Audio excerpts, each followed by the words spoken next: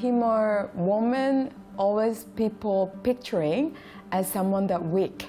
But when I run and I post a photo with that joy in my face, but also physically I'm capable, a lot of my colleagues say that they're inspired by that and they wanted to do the same thing.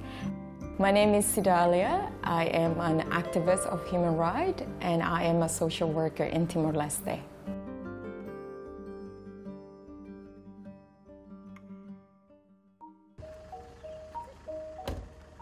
So when I work at one of the community clinic where women came to the clinic because they seek for help, say that they have sick at the back or they have sick in their head or they have sick in their tummy, mostly because of the physical aggression from the partner.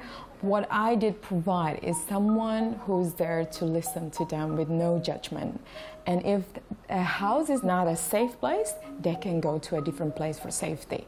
And I am there fully committed to support that individual. The situation of violence against women in Timor is really serious. Um, so when the Equality Institute did a study, what we found was that 59% of women had experienced intimate partner violence uh, during their lifetime. To put that into context, uh, globally, the average is around 30%.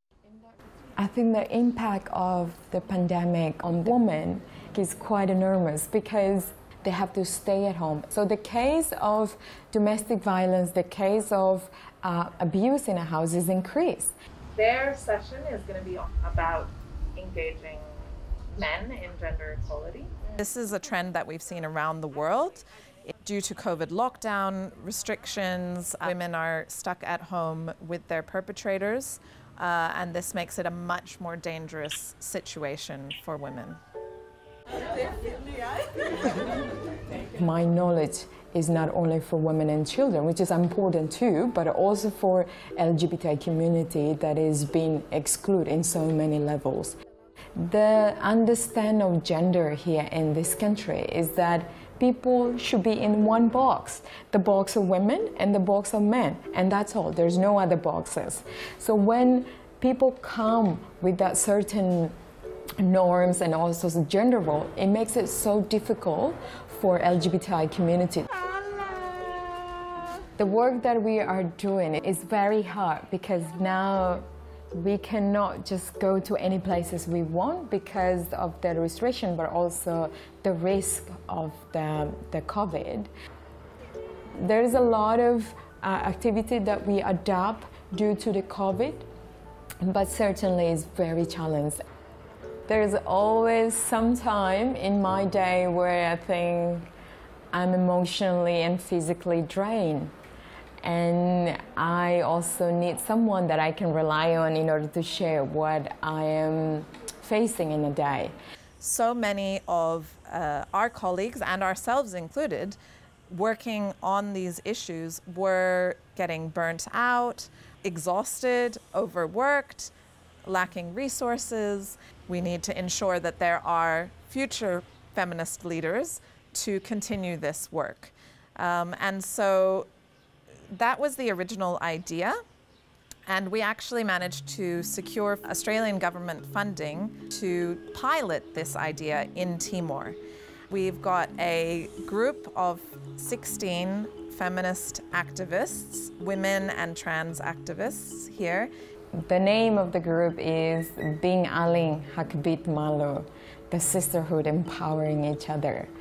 And this group is full of an, a woman who work in the organization who already exposed to dealing with domestic violence, dealing with women, children, people with disability, LGBT community.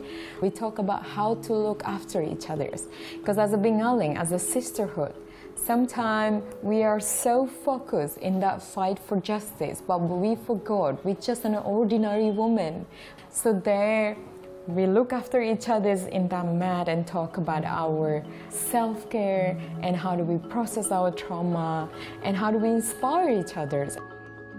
The international evidence that we have shows us that the key factor in helping to end violence against women is strong local feminist activism. And so that is one of the main reasons why, for me personally and for the Equality Institute, it is so important for us to support feminist leaders in Timor Leste. In that space, you see many women who are actually want some change in this country are now talking about this. And we rally on the street. If we had a chance to do a march, we march. And if there is a 16 days campaign that there is a 16 days that we advocate for human rights or we advocate for women and children, we'll do anything, a workshop or a discussion.